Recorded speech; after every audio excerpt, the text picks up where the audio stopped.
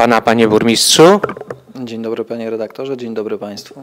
E, zanim e, porozmawiamy e, o tym, jak minął rok pańskiej kadencji, pierwszy rok kadencji burmistrzowania, chciałbym na chwilę zatrzymać się nad dzisiejszą sesją i nad głównym punktem programu dzisiejszych obrad, a mianowicie nad projektem budżetu na rok 2012.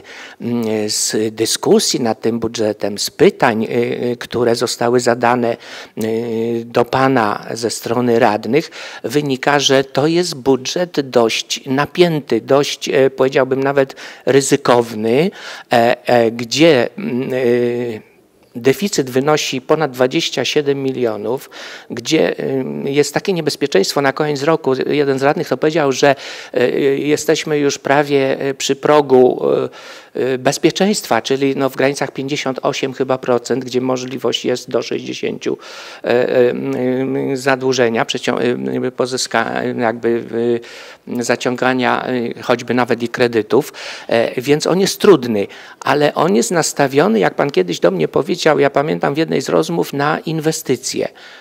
Tylko zadam to samo pytanie, co jedne z rannych. Czy nie obawia się Pan, e, mimo tej odpowiedzi Pani Skarbnik, że należy z optymizmem podchodzić do tego budżetu, że jednak e, pewne niebezpieczeństwo, pewne zagrożenie istnieje, bo jak się zacznie inwestycja, to trzeba je skończyć. To są realne wydatki. Natomiast dochody zapisane na papierze to są wirtualne pieniądze.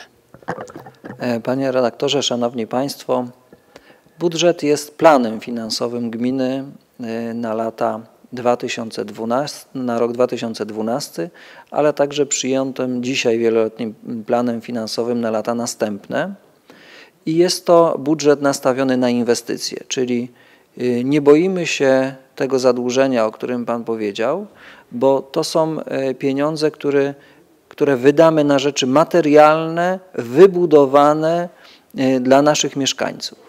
To nie będą pieniądze wydane na wynagrodzenia, na pochodne do wynagrodzeń, na inne cele ulotne, tylko na twarde inwestycje, które powstaną w naszym mieście. Dlaczego on jest y, ambitny? Jest ambitny dlatego, że Y, nie mamy czasu na rozwlekanie procedur, rozwlekanie inwestycji na lata kolejne. Y, musimy całą kadencję przepracować solidnie dla naszych mieszkańców. Nie możemy odkładać inwestycji na ostatni rok tylko po to, żeby pokazać, że coś się robi, tylko cała kadencja musi być przepracowana od początku do końca w sposób przemyślany dla naszego wspólnego dobra.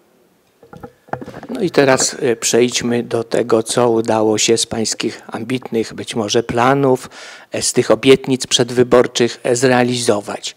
I czy pan jest zadowolony z tego mijającego roku, czy nie, jako burmistrz? A co nie udało się z pańskich planów wykonać?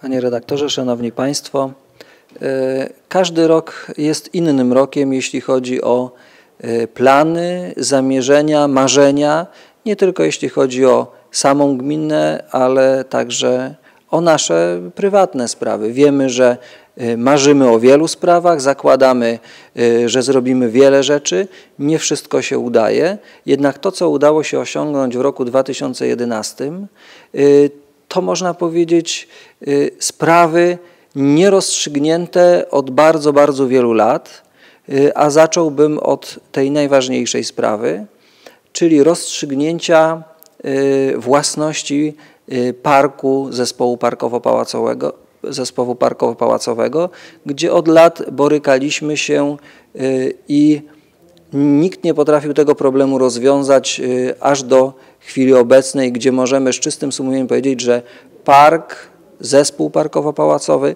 jest własnością mieszkańców miasta i gminy Końskie.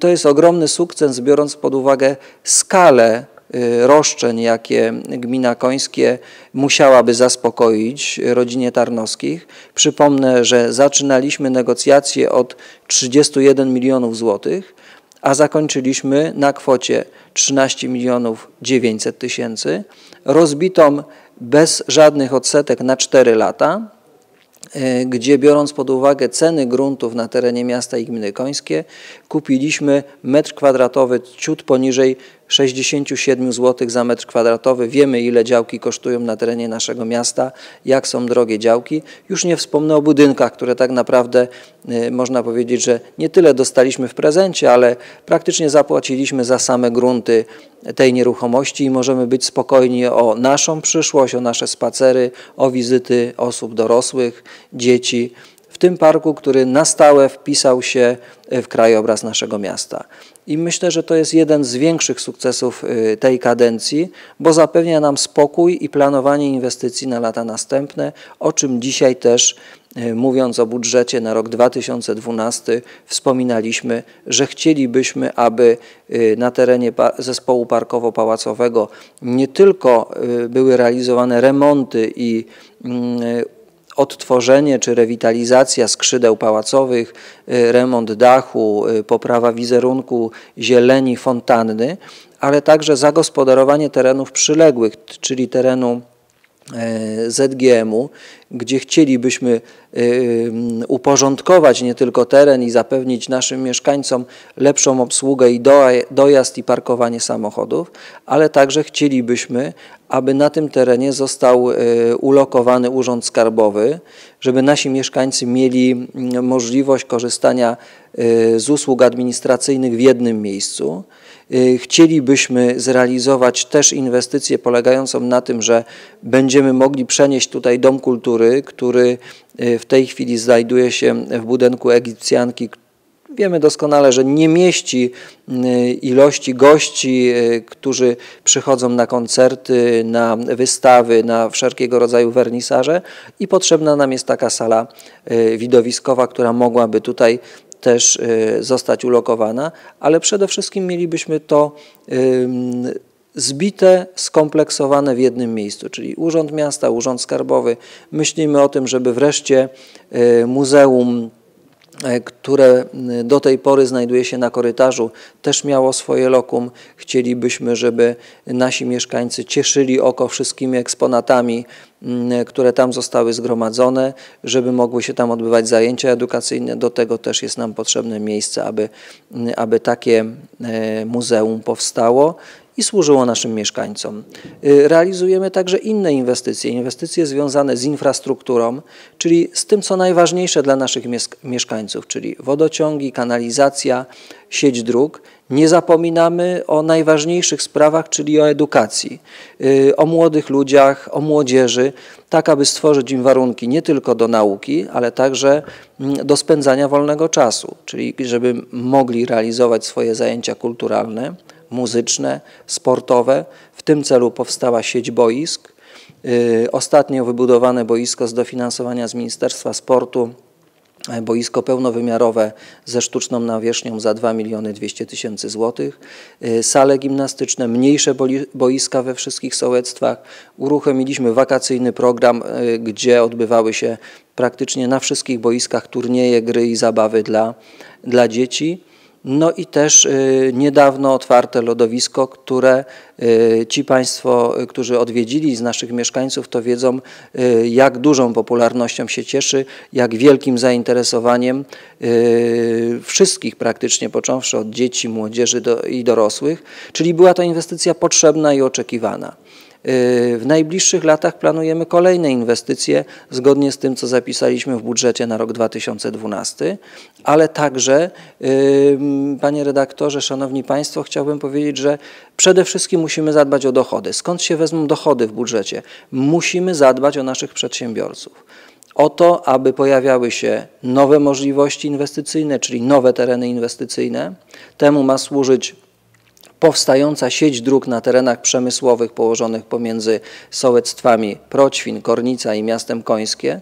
Będzie to obszar około 75 hektarów przeznaczony właśnie dla nowych inwestorów po to, aby powstały nowe miejsca pracy, aby nasi mieszkańcy mogli y, znaleźć tam pracę, zarabiać, dbać o swoje domy, o swoje rodziny.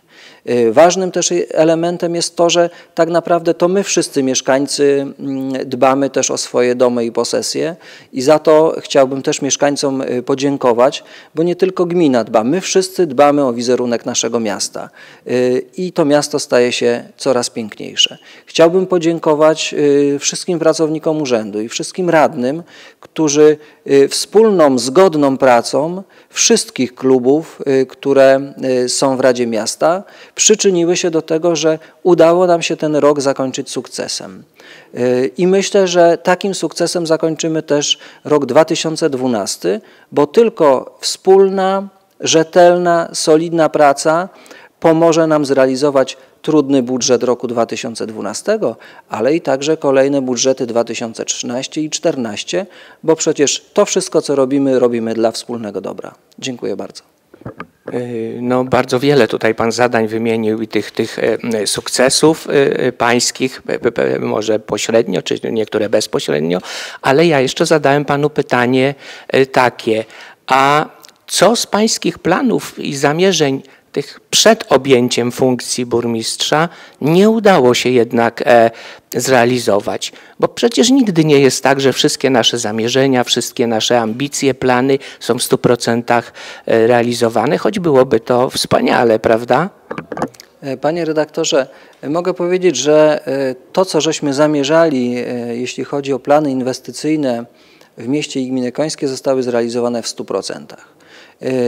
Tu praktycznie nie mogę powiedzieć, że y, zawiodłem się zarówno na y, naszych pracownikach czy radnych, y, ale także muszę powiedzieć, że z pełnym optymizmem patrzę na, na kolejny rok. Biorąc pod uwagę porażki, one są na tyle drobne i, nie, i nieznaczne i w żaden sposób nie rzutują na ogólny obraz tego, co udało się osiągnąć.